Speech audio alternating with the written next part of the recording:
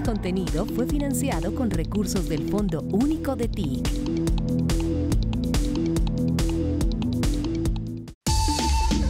La entrevista.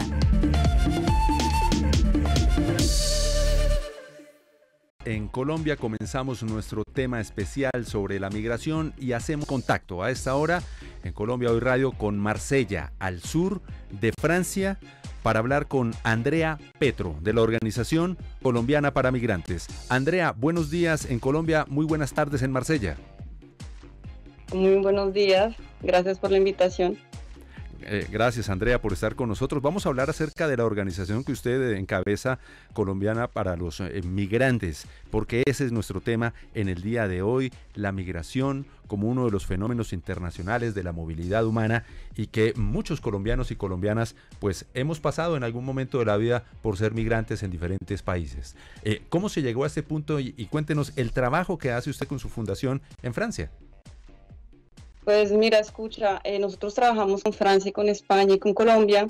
Eh, principalmente abarcamos los temas migratorios desde el principio hasta el final. O sea, las personas que quieran salir y migrar a estos dos países, eh, los aconsejamos, les damos información jurídica de cómo pueden migrar eh, sobre todo sabiendo que más de 20 tipos de visas diferentes a las cuales pueden aplicar, evitar que la gente se vaya eh, a pedir refugio cuando no es necesario, porque bueno, 97% de las personas que piden refugio pues están siendo negadas y tienen unos, unos papeles para quitar el territorio irse del país, eh, se quedan en situación irregular en estos países durante años y tratamos de evitar como que estas personas se encuentren en situaciones de alta vulnerabilidad en estos países. Trabajamos de la mano con otras fundaciones y asociaciones en España y en Francia para poder guiar y responder mejor pues, a estas problemáticas migratorias colombianas. Y eh, ayudamos a muchas personas a volver al país también en un plan retorno de la población altamente calificada migrante de nacionalidad colombiana. Eh, y principalmente ese es el trabajo que se hace con la fundación. Andrea, buenos días. Andrea mencionaba en algún momento, yo soy migrante, yo vivo en el extranjero y yo entiendo las necesidades de los migrantes. De repente ponerse en esos zapatos ha ayudado muchísimo y seguramente fue ese aliento para crear esta fundación, una fundación que usted me corrige, pero digamos que está empezando, ¿no? Arrancó este año, fue lanzada, eh, digamos, a toda la gente, también a través de redes sociales donde se mueven principalmente hacia mayo, van más o menos tres meses entonces de proceso. ¿Cómo ha sido este proceso, la aceptación con esos colombianos que se encuentran en diferentes lugares y que han tenido la oportunidad de ayudar? Pues mira, la aceptación ha sido muy positiva, por más que nosotros hasta ahora entramos pues en este, en este lobby migratorio, porque hacemos es lobby migratorio también. Eh, escucha, fue las diásporas colombianas que me contactaron a mí directamente. Yo también tengo un trabajo con los consulados para mejorar eh, la oferta de servicio de ellos y para que ellos entiendan más bien a la población con la que están trabajando. Tratamos de hacer caracterizaciones migratorias ya la hicimos en la aglomeración de Madrid, vamos a abarcar la de París para que podamos entender realmente los colombianos dónde están, qué necesitan, si sí están en situación de vulnerabilidad y sobre todo entender por qué el colombiano de base no va al consulado a buscar ayuda.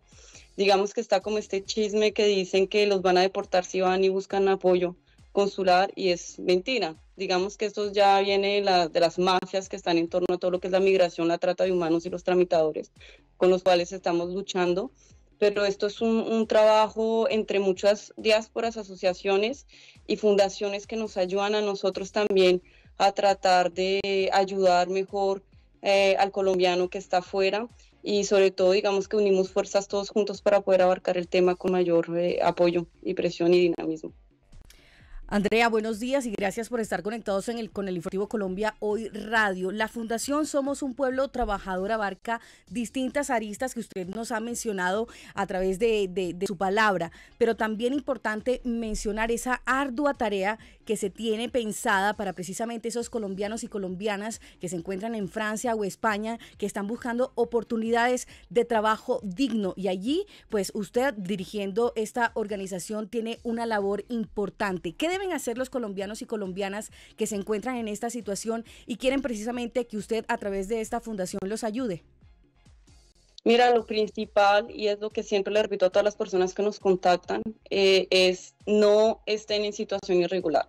Una vez que ustedes están en cualquier país del mundo en una situación irregular, ya va a ser muy difícil tratar de regularizar el proceso migratorio. Eh, que el consejo más grande que doy es devuelva hacia el país y vuelva a, a empezar desde ceros el proceso migratorio, porque hay muchas oportunidades laborales. Digamos, los jóvenes eh, pueden entrar aquí siendo estudiantes o pueden eh, eh, ser con este visado de au que les permite aprender la lengua francesa, por ejemplo, y cuidar algunos niños en familias francesas que ellos los acogen.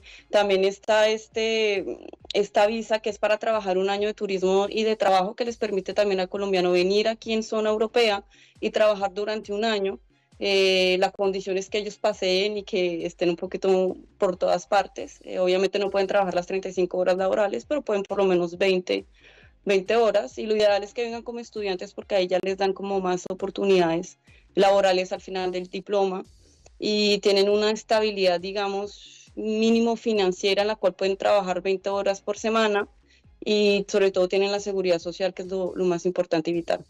Cuando ustedes vienen a estos países sin, sin documentos, tienen que saber que la seguridad social no aplica. Eh, la educación de sus hijos es por, es por ley, tienen que estar ahí, pero ustedes van a estar completamente marginalizados y cualquier cosa que les vaya a pasar, pues va a costar mucho.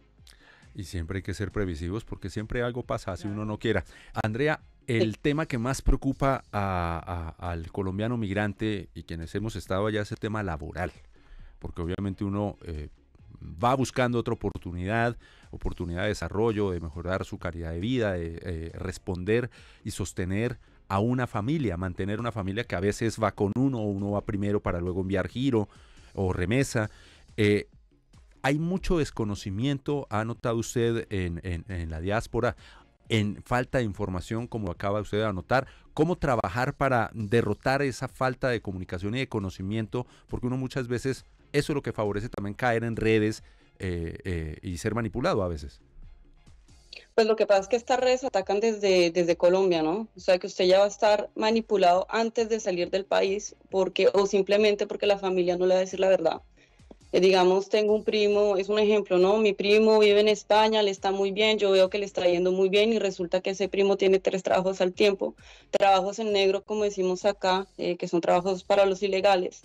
Eh, son personas que están en condiciones laborales lamentables, que son explotadas, que eh, no les pagan muchas veces y como son personas sin papeles es muy difícil atacar a este tipo de empresas o personas para que los puedan defender. Eh, pero también tienen que saber las personas que por más que no tengan papeles, ellos también tienen derechos y los tienen que utilizar. Y para eso necesitan las informaciones adecuadas y ir a los organismos adecuados para que los puedan guiar sin que se aprovechen de ellos.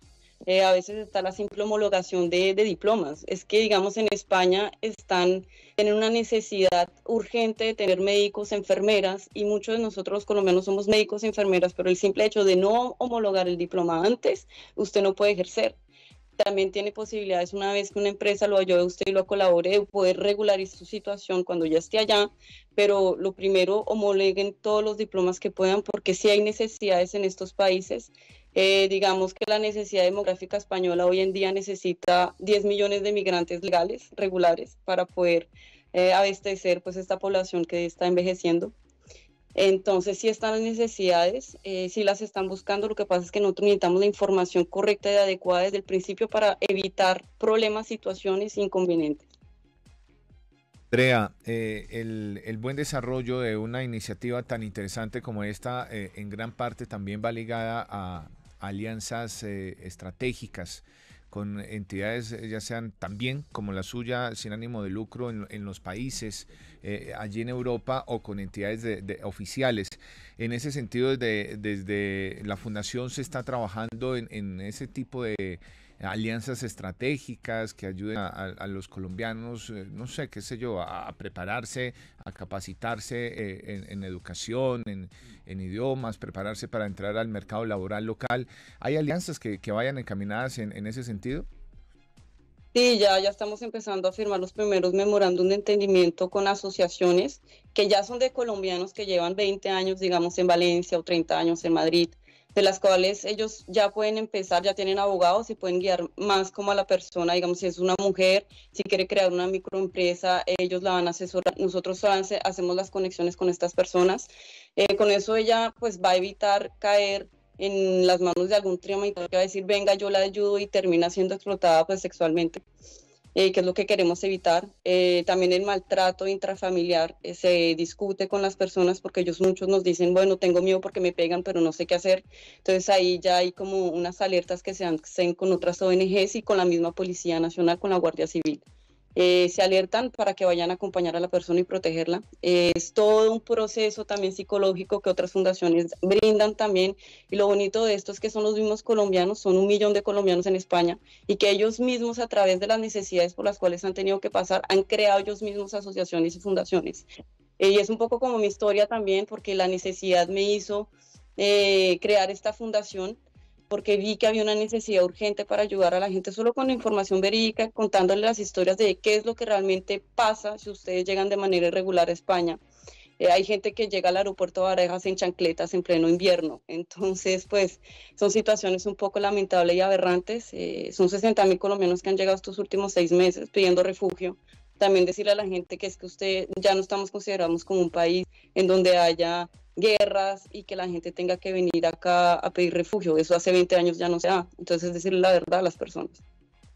Andrea, usted me da pie para preguntarle precisamente partiendo de esa vivencia personal que sufrió cuando estuvo cuando llegó a Francia y sintió que el gobierno de Colombia no acompañaba a esas personas que tomaban la decisión de migrar, ya sea por estudios, ya sea por trabajo, ya sea por alguna necesidad en específica. De ahí la misión y la visión de su organización. Pues mira, yo cuando, cuando empecé este proyecto, pues ya era por mi situación personal, porque yo fui ilegal durante un año y medio en Francia, estaba embarazada, entonces a mí me echaron de acá, me expulsaron. Entonces tuve que pasar por todo ese, ese digamos, esa angustia. Eh, y traté, yo como colombiana, lo primero que hice fue tratar de ir al consulado que me ayudaran, porque pues yo decía es territorio colombiano y pues fue todo negativo. En realidad es que hay un problema de comunicación total entre los consulados y las diásporas colombianas. Digamos que a mí me ayudó, fue una asociación eh, africana con el tema de mis papeles para poder volverme a regularizar. Eh, entonces uno siempre como que se siente solo, abandonado, eh, no hay comunicación, no tienes nada. Y el trabajo que se hace es realmente acompañar a la persona, decirle que no esté sola, porque hay temas que son bastante tabús en la migración. Ya no hablamos de, de racismo, hablamos de xenofobia, de aporofobia, del duelo migratorio, de la población de los viejitos cuando vienen acá y no tienen pues eh, trabajo, no van a conseguir nunca trabajo porque me traje a mi abuela, entonces mi abuela, ¿cómo, ¿cómo hago yo para mantenerla? De los niños que se quedan también en Colombia solos porque la mamá se vino acá a trabajar, psicológicamente estos niños, ¿cómo lo viven? Una vez que llegan a estos países, pues es muy difícil. Los hijos de los mismos migrantes están considerados aún como migrantes por más que sean, tengan papeles europeos, digamos, tenemos casos de personas eh, que viven la doble xenofobia de los dos países. Digamos que tengo acento español, llego a Colombia, entonces me van a ver como el español, pero en España no soy español porque mi mamá es colombiana y mi papá también. Entonces son situaciones que hay que hablar, eh, que no se hablan nunca, que cuando yo fui migrante pues nunca se hablan ni en la tele ni nada, pues hablan de, de, de todo lo que es xenofobia y racismo y pues ya como vemos eh, las políticas de extrema derecha que europeas que están siendo muy dramáticas con consecuencias desastrosas en la migración, pero sobre todo es cambiar mentalidades y decirle a la gente que es una, una evolución positiva y necesaria y que muchos migrantes están aquí para ayudar, para trabajar, sobre todo el que viene acá viene para trabajar, no para aprovecharse las ayudas, porque las ayudas ellos no las desconocen completamente. Y es como cambiar mentalidades también en Europa para que seamos más eh, acogidos de manera más positiva más acogidos y de manera positiva y de ahí quisiera enlazar lo siguiente con ese trabajo que usted viene articulando entre la organización y los distintos consulados de Colombia y Francia y el Ministerio de Relaciones Exteriores. ¿Cómo avanza ese trabajo en conjunto? Mira, las relaciones con el Consulado de Madrid son súper buenas. Eh, hemos podido sentar directamente a la población colombiana con el embajador o con el cónsul. Ellos son, son yo diría que es el mejor consulado que hay en el mundo de todos, es el de Madrid porque es donde realmente el colombiano viene, los acogen, tienen unos programas muy buenos para ellos, están de la mano, trabajan de la mano con ellos. Hay otros consulados que es completamente lo opuesto, digamos, no voy a decir cuáles, porque de eso ya viene como el mapeo de necesidades que yo hago en los consulados, es saber por qué hay problemas, qué es lo que pasa y luego se le manda un reporte a, a Cancillería con nosotros como fundación eh, del trabajo que hacemos. Obviamente llevamos solo tres meses, entonces las, las cifras todavía no las estamos teniendo, las estamos trabajando. Y con el Consulado de París estamos trabajando lo que es la caracterización de los colombianos en, en Francia. Digamos que oficialmente dicen que son 20.000 colombianos en todo el territorio francés, pero nosotros ya con los trabajos que hemos tenido con las universidades, es más o menos 400.000. Entonces es un trabajo que tenemos que hacer en este año. empezamos en estos seis meses a hacer esa caracterización y ya pues de las teorías sacar conclusiones y, digamos ya a futuro políticas públicas reales y concretas sobre la población migrante. Andrea, sin duda alguna es un trabajo muy importante y que yo sé que muchos colombianos que se acerquen a esa fundación pues van a agradecer. Usted estaba hablando del tema de la caracterización, sabemos que son muchas estadísticas que se tienen que ir adelantando y demás, pero cuénteme cómo está el tema de la mujer, porque yo sé que usted también maneja un enfoque de género bien importante y muchas veces las mujeres, cabeza de familia, madres solteras, son las que mayormente migran. ¿Cómo está la mujer en ese panorama de migración? Sí, 52% de las mujeres, que las mujeres no, de los migrantes son mujeres, eh, la mayoría son mamás, eh, cabezas de hogar, y son las primeras que caen en manos de, la trata de humanos, pues son las primeras que dicen, ven, vas a ser, no sé, bailarina en Francia, en Europa, como tú quieras, y terminan pues siendo eh, prostitutas. Entonces, ese es un tema un poco más delicado porque eso ya, ya digamos que a nivel mundial eh, ya se trata directamente con las policías eh, nacionales y regionales de cada país y tienen un botón de alerta, digamos que son las primeras personas que van a ayudar inmediatamente y sistemáticamente y se les va a dar hasta papeles. Eh, en el proceso inmediatamente ellas van a tener un papel de regularización de su situación mientras se mira y se ataca pues este problema ya de trata de humanos. pero digamos que es la mujer que está más vulnerada en todo el proceso migratorio porque ella piensa que digamos, cuando tú entras en ese duelo migratorio, acabas de llegar a estos países y entras en una fase de depresión, piensas que lo único que tú tienes es, eh, eh, eres, es tu cuerpo para vender y no tu inteligencia o porque más seas enfermera, porque más seas ingeniera. Lo primero que tú dices es que me voy a explotar yo misma sexualmente. Y es algo que nosotros queremos evitar y decirles a las personas, sobre todo a las mujeres cuando llegan a Bogotá, es decirles, ten cuidado, tú, tú eres mujer, tú tienes diplomas, tú estás preparada, no solamente pienses que, eres un objeto sexual y sabes y tienes que saber que vas a estar acompañada también. Se les da números por si algo, porque muchas mujeres de ellas llegan pues engañadas y tratamos como de guiar y tener un poquito de tacto con esas situaciones porque son las más delicadas. Ya están las otras mujeres que ya, digamos, son emprendedoras y tratan ellas mismas de tener microempresas, así sean de joyas, así sean de, no sé, un puesto de empanadas, de arepas, se les ayuda y se les colabora para hacer todos los papeleos necesarios para que ellas puedan crear este proyecto de microempresa y obtener también papeles con el proyecto de microempresa. Andrea, me alegra mucho ver que este, este, esta vocación de servir es de familia, ¿no? ¿Qué dice su padre, el presidente Gustavo Petro, de esta fundación? Me imagino que la felicitó, pero le ha dado su apoyo. Mucha gente dirá, no, pues de pronto es más fácil para uno crear una ONG, una fundación siendo hija de presidente, pero sabemos que es un trabajo que usted ha hecho desde su individualidad, porque usted ha estado vinculada a esos temas sociales también desde siempre. Pero ¿qué le dice el presidente? No, pero mi papá siempre, o sea, tiene muchos temores, ¿no? Tiene muchos temores porque justamente porque soy la hija del presidente, pues atacan mucho la fundación, tratan de, sacar eh, fake news, tratan de decir que estoy recibiendo dineros que no son. Me dijeron hasta que había recibido 800 millones de la Fundación Santa Fe, esta fundación ni siquiera da donaciones.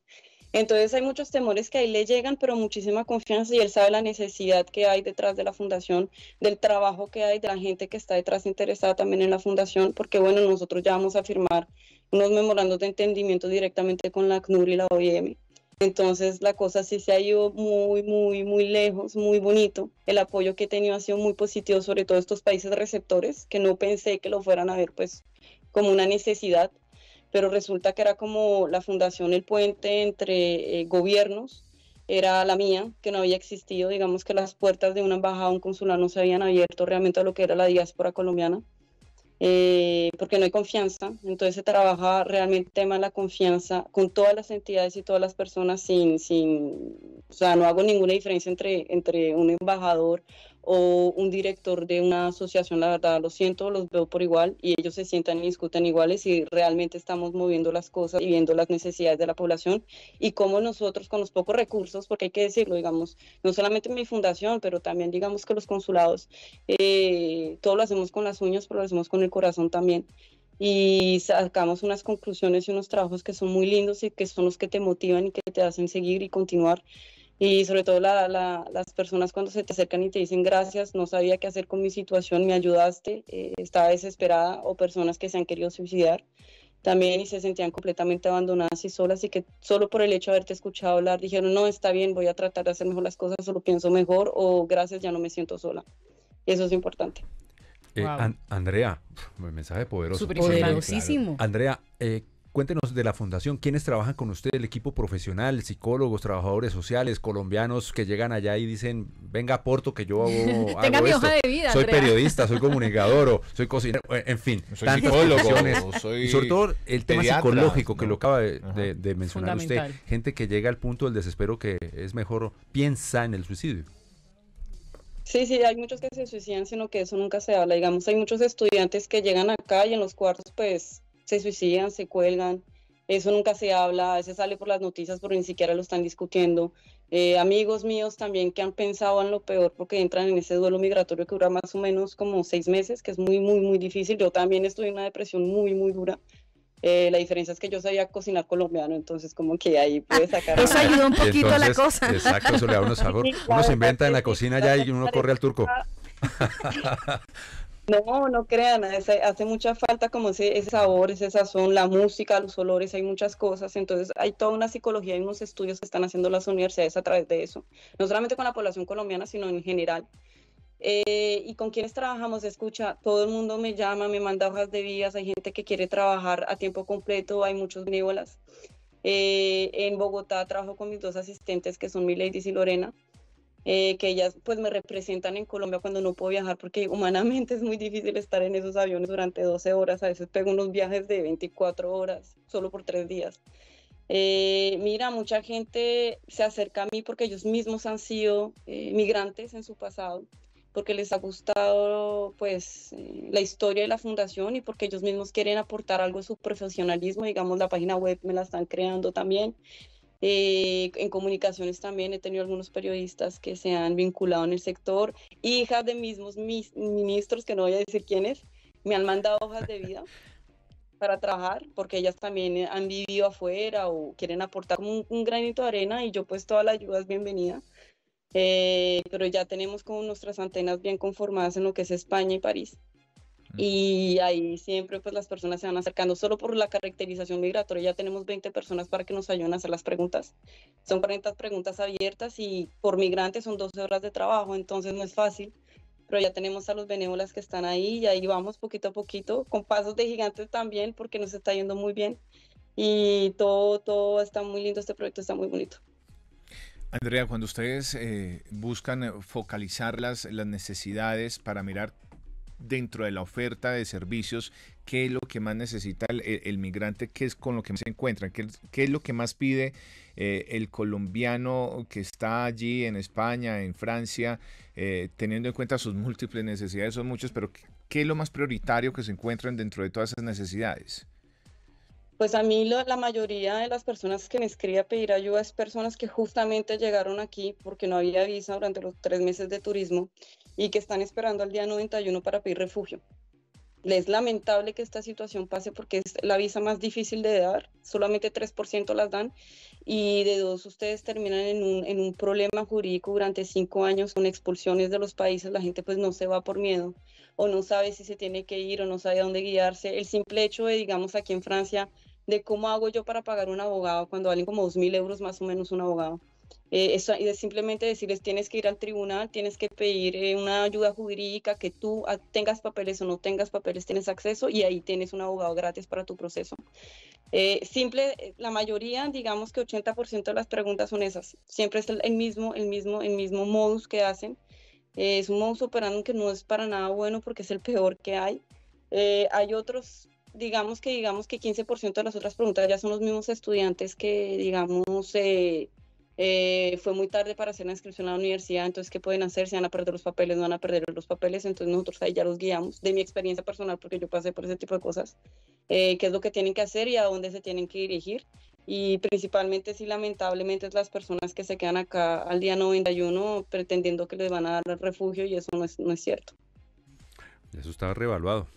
Hay que ser inteligentes en la migración. Andrea, mm, hablemos del tema y lo voy a leer textual. Eh, obviamente esto es un trino. Eh, bienvenida a toda persona que ame nuestro país y cultura, pero ayúdenos a mostrar lo bello que es y no hay que aprovecharse la cultura colombiana. Hablo de Dominic Wolf y la camiseta, ah, y el libro la camiseta aquella. Estaba haciendo business el hombre, ¿no? No, lo que pasa es que yo voy a decir la verdad, o sea, es un tema que yo cerré, hice un video y dije, oye, si te ofendí, qué pena, pero sobre todo fue el manoteo eh, violento que comencé a recibir por las personas, me comenzaron a, mandar un poco de amenazas y de cosas por redes y yo, ¿ustedes qué les pasa? Eh, simplemente sencillo, o sea, a él le quitaron la, la, camiseta de la selección Colombia. Habrá una razón, no sabemos cuál es la razón y yo ahí no me voy a meter ni nada. Es simplemente que es como un, un voz mediático que se hizo alrededor de esto y el hecho que él promocionara sus camisetas me pareció bastante oportunista y me dio rabia, me dio rabia. Entonces de pronto fue muy indelicada hacerlo público lo que yo opinaba. Eh, pero a mí eso me parece un poco oportunista sabiendo también el contexto de la camiseta, que es la camiseta de Colombia, que es nuestra identidad, y de ahí viene el trino. Ok, y, y un tema, sí, ¿qué pasaría si yo como colombiano me pongo una de Alemania sin mencionar la marca. Claro. Sí, es un tema el, tema fue un tema más de marketing y comercial. Pero, pero eh, Andrea, me, me, da pie usted para preguntarle algo. Me dice usted, se le vino todo el mundo encima en redes cuando usted quiso hablar del tema. ¿Cómo maneja usted ese tema de redes? Porque entonces es, Andrea Petro, sí, la hija del, presidente, eso es indiscutible, pero es Andrea Petro, la directora de una fundación, es Andrea Petro, un individuo, una, una colombiana eh, que vive fuera del país, que está sacando adelante un proyecto además súper bonito como esta fundación, pero me imagino que todos los ataques van dirigidos a Andrea Petro, la hija de... Eso no debe ser fácil de manejar. Vulgaridades y unas palabras y siempre énfasis es que su papá lampón y yo, y yo les digo, pero oigan, o me parece una falta de madurez, una falta de todo, de respeto también, porque las redes no están ahí para, para violentarnos, está para debatir si quieren debatir, pero sin groserías, sin insultos, sin amenazas, se meten hasta con mis niñas chiquitas, eh, que somos una familia de no sé qué. O sea, yo qué tengo que ver con, con, eso. O sea, yo tengo mis proyectos, yo soy un individuo y ¿qué hice yo pues en Instagram? Quité los comentarios para no leerlos, porque psicológicamente duele a veces. a mí a veces me dan risa los memes que crean de mí, de verdad. Soy la primera que se ríe en situaciones y yo tengo bastante humor para, pues mi humor pues trato como de ser, no sé, no cojo las cosas en serio, pero es que a veces hay comentarios que son demasiado duros, o sea, me critican hasta mi físico, me critican los dientes, me critican todo, me parece que se va muy lejos y que en Colombia tenemos que empezar a, hacer una campaña contra la violencia verbal en redes, que es urgente porque es demasiado.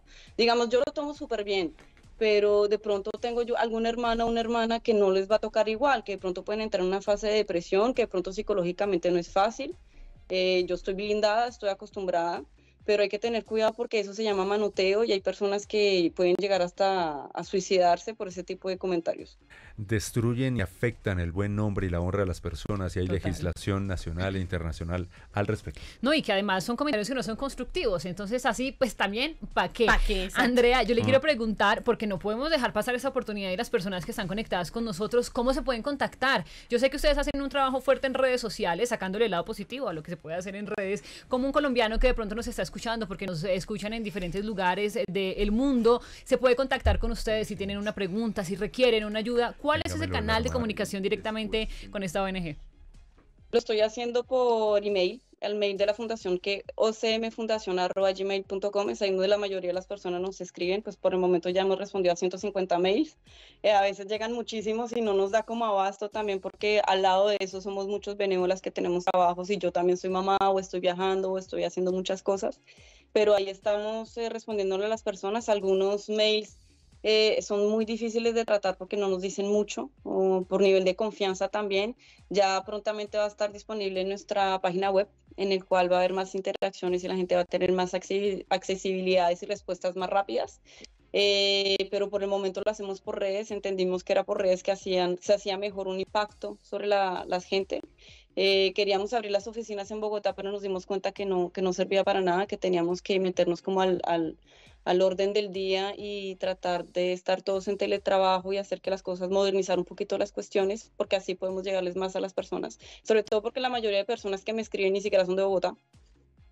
Eh, mucha gente de Cartagena, mucha gente de Barranquilla, mucha gente que está en Pereira, entonces obviamente ellos no hubieran ido hasta Bogotá a las oficinas a buscar ayuda. No, al contrario, lo, lo más fácil y viviendo en una época en donde uno, el 100% por, es la virtualidad, entonces qué mejor, y ahora que se está implementando todo este tema de teletrabajo, sí, ¿Vas a decir algo? No, no, Misaji, para repetir de pronto el correo, que no se nos haya pasado, OCM Fundación, ¿verdad? arroba gmail.com. Listo, ocmfundación.com, ahí van a estar esperándolos. Exactamente. Andrea, ya para finalizar este espacio y agradeciéndote nuevamente el que estés conectado con nosotros, ¿cómo te visualizas en un año que esté tu fundación? ¿Cuántas personas crees que vas a poder ayudar a través de esta labor tan bonita que es que los colombianos nos sintamos en cualquier lugar del mundo, en este caso en España y en Francia, como en casa? Bueno, pues yo soy una persona bastante pragmática, entonces puedo decir muchas teorías, pero si no tengo las cifras es difícil como hacer proyecciones, sobre todo porque hasta ahora estamos empezando, pero ya vamos a empezar un trabajo en Estados Unidos, eh, porque no lo han pedido, porque de los correos que nos han mandado hay muchas personas que necesitan información sobre los procesos migratorios americanos que bueno, son por, por estado, pero es un poco más diferente, pero ya nos vamos a meter en lo que es México y Estados Unidos. Eh, obviamente me voy a quedar en lo que es Francia, España y vincular un poquito ya el proceso que es Alemania, Inglaterra y, e Italia, por Italia, bueno, digamos que la estabilidad de extrema derecha que está ahí nos ha bloqueado absolutamente todo porque la situación es dramática para los migrantes que están en el lugar. Eh, pues no vamos a hablar más del tema porque podemos hablar horas.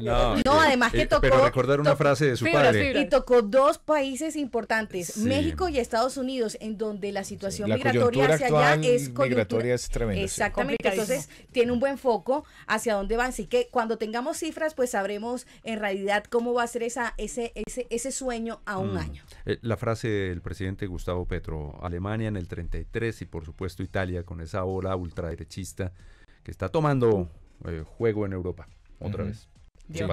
Pero bueno, hay que seguir con la lucha. Andrea, gracias. Un gran abrazo. En Marsella. ¿Cómo está Marsella? ¿Cómo está el clima hoy? ¿Cómo está la tarde? Marsella? ¿Qué tal? Sí. a mí todo lo que es el medio ambiente me tiene sumamente preocupada y los cambios climáticos acá son dramáticos. La verdad es que la ola de calor fue tenaz aquí y ahora está haciendo frío ah. para que en una semana otra vez vuelva la ola de calor. Entonces es un yoyo, digamos, eh, dramático que las matas no entienden, que los climas no entienden. Para mí, pues las estaciones están desapareciendo. O va a ser frío o va a ser calor, pero ya sabemos que este invierno va a estar dramático. Digamos que aquí la tensión energética es tanta que se nos va la luz a veces. Wow. Por el consumo. Y de eso nadie habla. Claro. Qué fuerte. Andrea Petro, gracias por estar en Colombia Radio. Un gran saludo desde Colombia, allá en Francia, y éxitos con ese trabajo desde la base por todos los colombianos y colombianas. Gracias a ustedes. Colombia, hoy radio.